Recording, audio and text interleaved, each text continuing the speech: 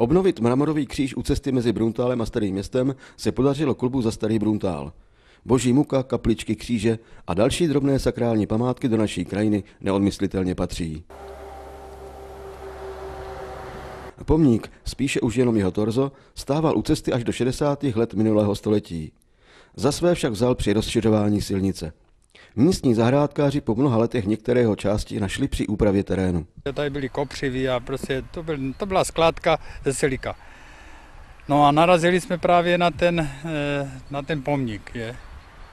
No, tak jsme to trošku oddělali, no a potom přijel ten pan Rapušák a teď to viděl, tak to dali trošku jako do pořádku. Klub za Starý Bruntál se rozhodl kříž obnovit.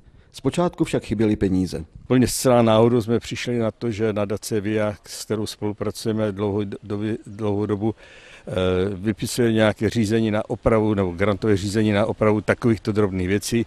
Během asi deseti dnů jsme zpracovali projekt, uspěli jsme eh, s celou tou záležitostí, takže jsme se do toho pustili. Postupně se podařilo najít další části pomníku.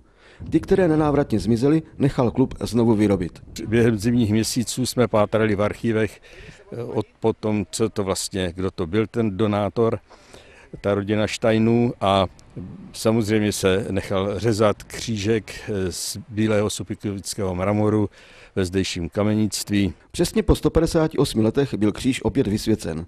Podobné drobné památky mají velký význam, oživují krajinu a spojují lidi z místy, kde žijí. Chceme zachovat to, co tady bylo, co tady patřilo a je to naše, musíme se o to starat. Byla ta obrovská devastace, že za některé ty roky a je dobrý, když se tady ty kapličky a tady ty drobné stavby jako opravují. Při příležitosti obnovení kříže vydal klub za Starý Brunutál pohlednici se základními informacemi. Zájemci si ji mohou zdarma vyzvednout v Městském informačním centru, na obecním úřadě ve Starém městě a na Bruntálské faře. Ladislav Olejníček, televize Polar, Bruntál.